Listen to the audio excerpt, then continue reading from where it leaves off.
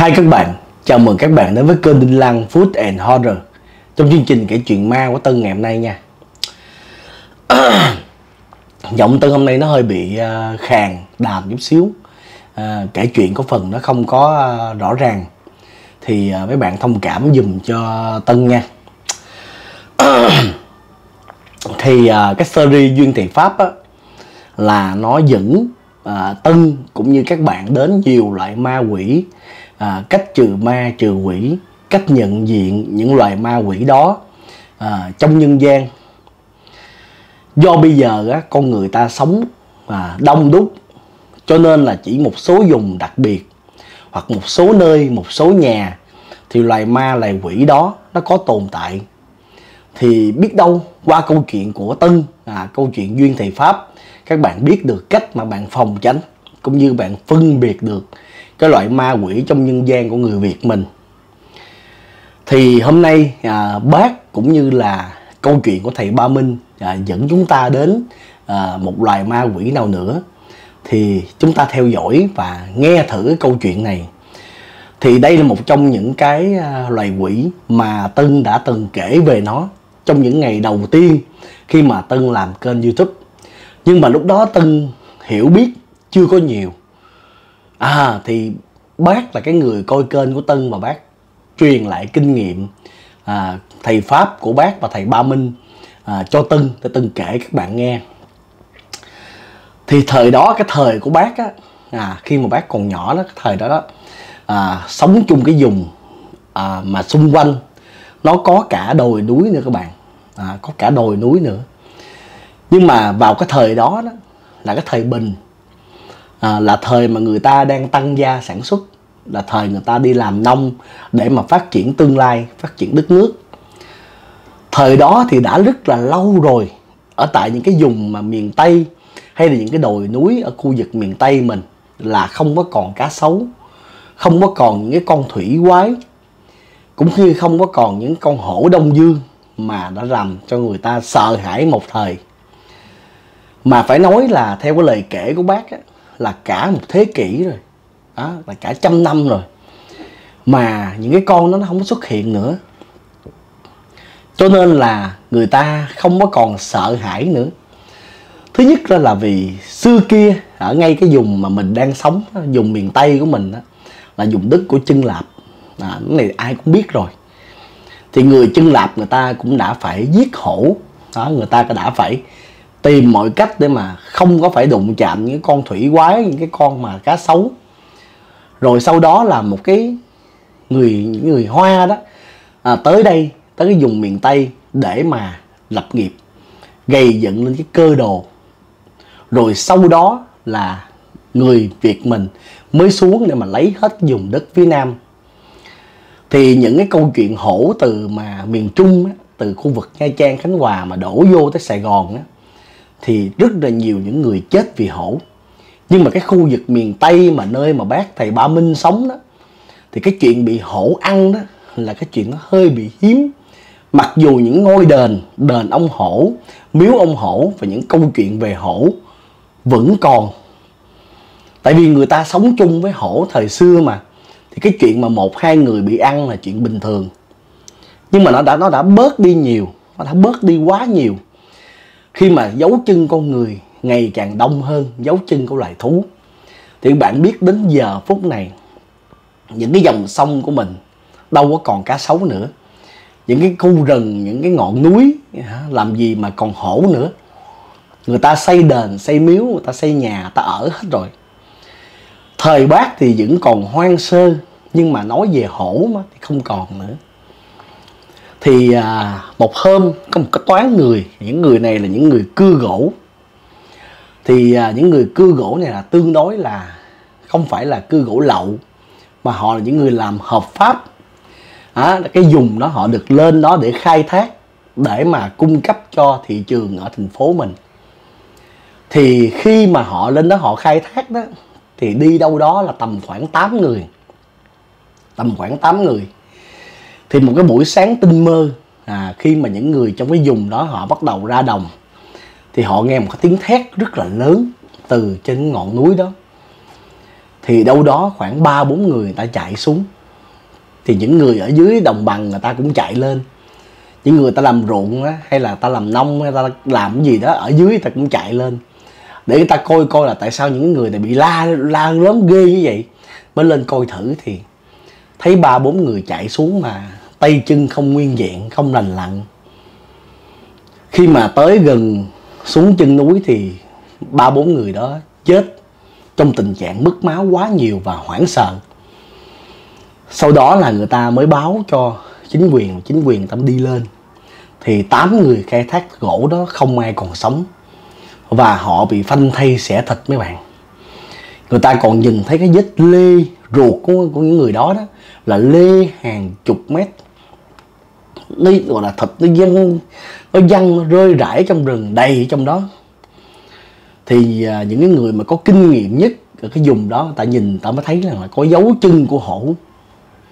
Có dấu chân của hổ nhưng mà nó hơi kỳ.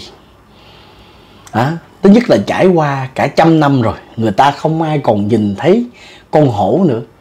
Cho nên là con người không thể nào mà phân biệt được là dấu chân dấu chân gì nhưng mà họ biết là dấu chân hổ là do họ nhìn. Cái dấu chân đó nào giờ nó không có trong rừng thôi. Bây giờ họ nhìn có cái dấu đó à cũng vuốt móng rồi này kia, rồi những người đó bị phân thay xẻ thịt. Thì họ nghĩ rằng cái loài hổ mà của Việt Nam mình, đặc trưng của Việt Nam mình, là hổ Đông Dương còn ở trên ngọn núi đó. Nhưng mà cái điều này nó quá phi lý đi. Các bạn biết là mình đã trải qua quá nhiều năm rồi, đúng không? Thì đến cái thời kỳ pháp thuộc á thì vừa dân pháp người ta đô hộ thì người ta cũng đã giết rất là nhiều hổ. Để người ta lột da ta mang đi thị trường người ta bán. Để mà người ta khai thác cái đất thuộc địa là Việt Nam mình. Thì hổ không còn nữa.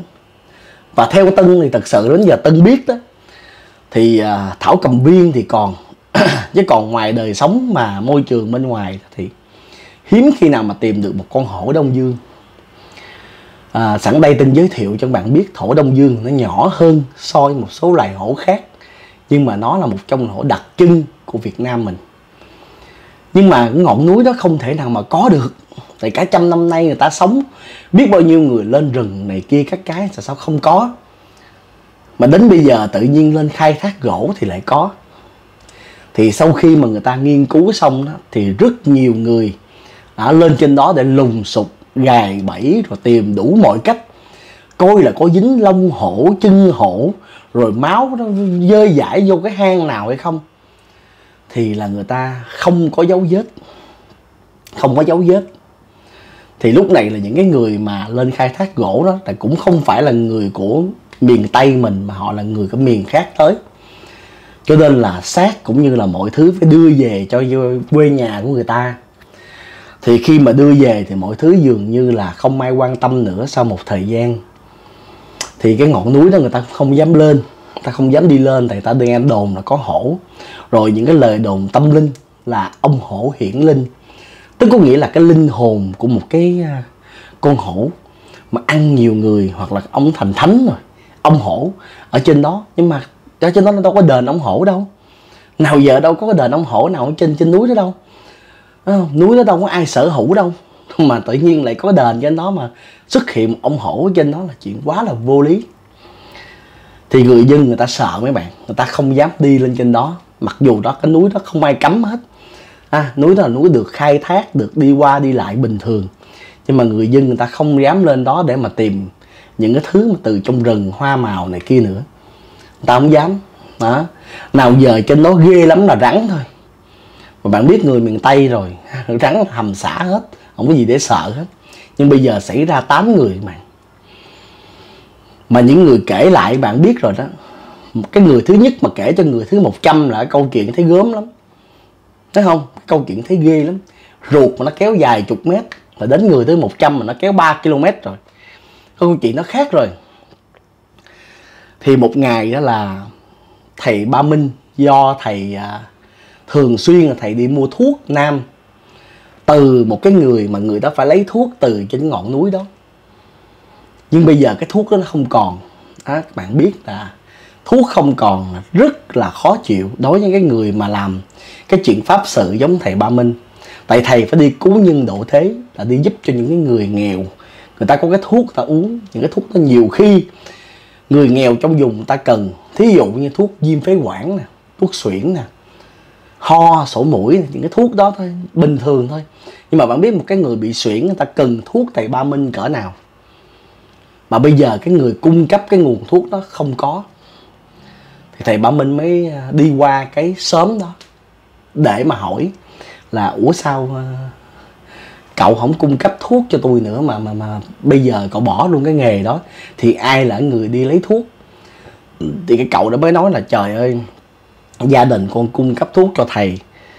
Bao nhiêu năm nay thầy cũng phải hiểu tính của gia đình con. Nhưng mà ở đây bây giờ có hổ. Tám người lên khai thác gỗ đó người ta chết không toàn thay trên đó. Mà thấy có dấu chân hổ rồi máu me ghê lắm thầy ơi. Bây giờ con lên đó con lấy thuốc đó. Mà cái thuốc của thầy cần đó, nó lại nằm ở ngay trạng dạng sáng. Mà lúc đó hổ nó đói con lên là lỡ con chết luôn cảnh rồi sao? Nào giờ con lên không có. Đi bao nhiêu năm nay không có. Từ thời cha con lên nó lấy thuốc cũng không có. Ông nội lên cũng không có. Mà bây giờ tám ông lên khai thác gỗ lại có. Thì lúc này thầy ba minh mới nói là chuyện đâu mà hy hữu dữ vậy? Sao tôi không biết cái chuyện này trời? Tại thầy lo đi làm pháp sự không mà thầy lo đi cứu người, thầy đâu có nhiều chuyện đâu mà mà thầy biết. Trong khi sớm ta đồn hết bao nhiêu làng ta biết rồi bao nhiêu sớm ta biết rồi mà thầy chưa biết. Thì thầy mới nói thôi nếu mà cậu sợ cậu chỉ tôi đi. Cậu chỉ tôi cái địa điểm nào đi là tôi lên trên đó đó là tôi hái cho. Chứ bây giờ cậu nói vậy thì tôi cũng biết nói sao. Cả, cả thế kỷ cả trăm năm rồi có hổ đâu.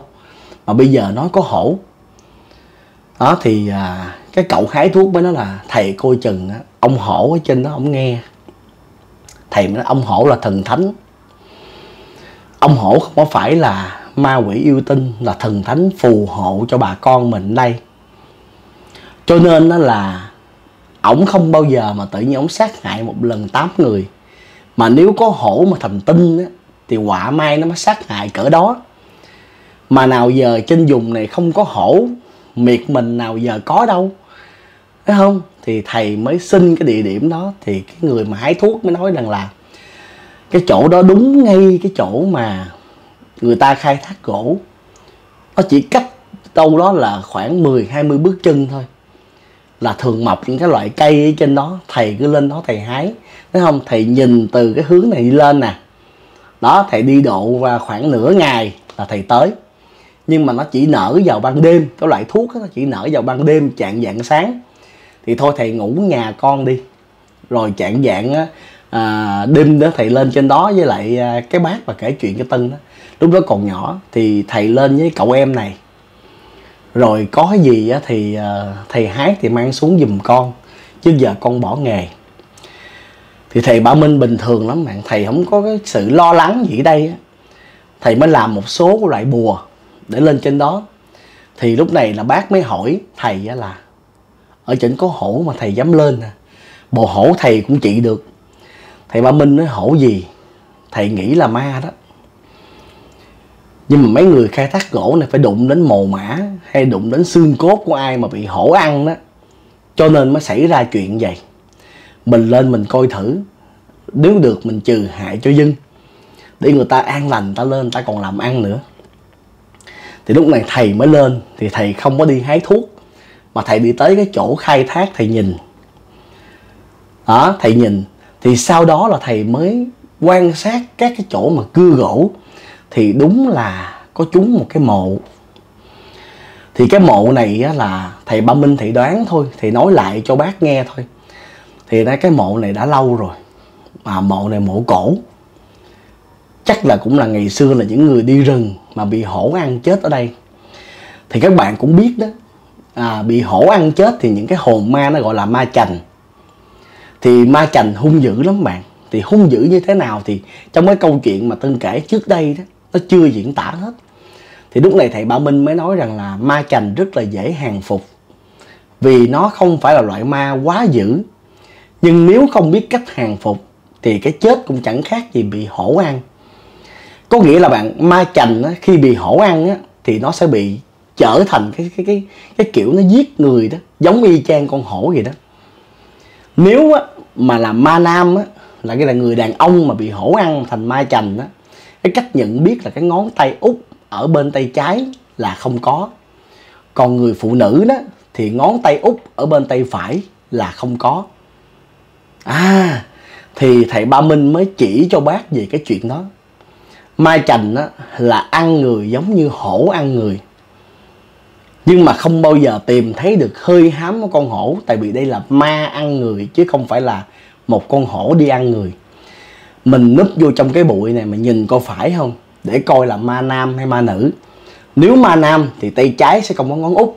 Là cái người đó sẽ đi trong tình trạng là ma nhưng mà để ý cái tay bên trái là ngón út không có thì là ma nam. Thì sẽ hàng theo kiểu ma nam mà nếu là nữ, sẽ hàng theo kiểu ma nữ. Nhưng đừng để cho cái người đó, cái hồn ma chành đó, hửi được cái mùi người ta. Thì lúc này đó là thầy mới lấy sình thì chét lên trên mặt của bác, chét lên trên mặt của mình. Để nó cái mùi của mình nó nó hòa quyện với mùi rừng. Thì lúc này là ngồi đến khoảng là chạng dạng sáng là từ trong cái mộ của bạn, bò ra một cái người mà đúng là cái ngón tay bên trái tay trái là không có ngón tay út là xác định là ma nam. Nhưng ghê ở chỗ là nhìn cái tướng bò y chang con hổ cũng gầm gừ cũng y chang con hổ. Tại bạn biết không khi mà mình bị con hổ nó cắn mình chết đi nhưng mà cái máu của con hổ cái cái cái, cái nước miếng của nó vô trong người mình thì nó cũng làm cho mình biến đổi một số thứ trong cơ thể các bạn. Cho nên khi thành ma nếu mà hình dạng của ma chành á là gần giống như con hổ nhưng mà đi bằng hai chân như người. À cái đó hơi bị ớn đó mà nào giờ tân không biết về chuyện đó luôn. Thì thầy ba minh mới nói là đã thấy được nhân dạng mà biết được ma chành đó thì hàng rất là dễ. Chỉ cần lấy bùa đốt lên, quăng về hướng nó là nó sẽ đây lập tức nó hồn siêu phách tán. Tại vì loài ma này rất là yếu, do là không thể nào ăn được thịt người trừ khi người phạm đến mộ và nơi sống nó mới nó mới trồi dậy được thôi. Thì những cái người khai thác gỗ đó, xui một cái là khai thác vào giờ âm, có nghĩa là ban đêm. Phạm phải cái mộ ma chành, mà cái mộ này đã từ mấy trăm năm rồi, bị hổ ăn thì người ta chôn đại ngay đó. Cho nên ma chành nó mới sống vậy nó ăn những người đó. Thì thầy nói may phước mới ăn nó 8 người nó ăn thêm vài người nữa là nó thành quỷ chành là còn ghê hơn nữa.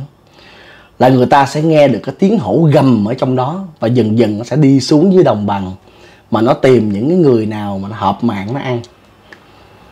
Để mà nó luyện, bắt đầu nó mới luyện. Lúc đầu nó ăn tùm lum hết. Thì những cái hồn nó bay khắp nơi, có những cái hồn không hợp mạng nó ăn không được. Nhưng mà khi mà nó đã biết được xuống dưới đồng bằng đó, nó tìm những người hợp mạng nó ăn rồi đó thì lúc này nó mới luyện thành quỷ được. Lúc đó là khó hàng. Rất là ghê.